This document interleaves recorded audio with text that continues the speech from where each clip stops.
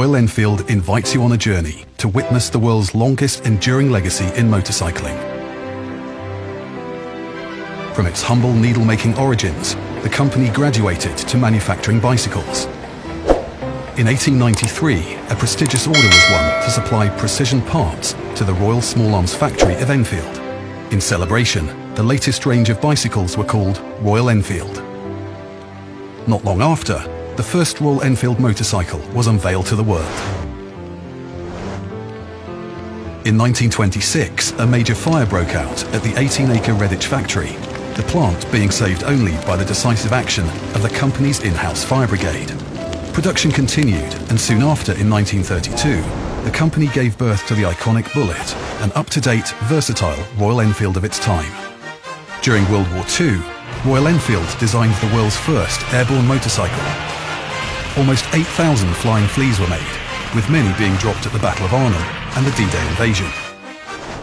The innovation continued apace after the war, with Royal Enfield pioneering the first British motorcycle with swinging arm rear suspension paving the way for the 500 Twin and a dynasty of Royal Enfield twins.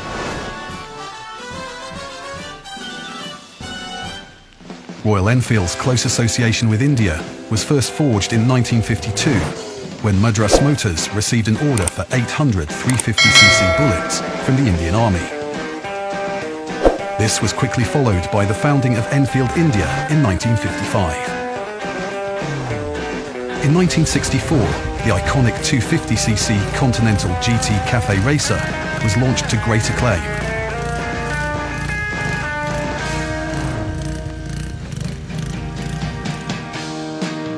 Closing of the Redditch factory in 1967 was the end of an era, but production of the 736cc Interceptor continued at the Westwood Underground factory. Eicher Motors acquired Enfield India in 1994 and the company re-established itself as Royal Enfield Motors Limited. In 2008, the retro-styled Classic was introduced, complete with a new fuel-injected 500cc unit construction engine. The Classic rapidly acquired cult status when it became available in the home market and sales grew exponentially. The global expansion continued with the opening in 2013 of a new state-of-the-art facility in Oragadam near Chennai. Amongst the first motorcycles to roll off the production line was the all-new Continental GT Cafe Racer. After traversing the highest roads and deepest valleys in the Himalayas for more than five decades, Royal Enfield debuted its first purpose-built adventure motorcycle, the Himalayan.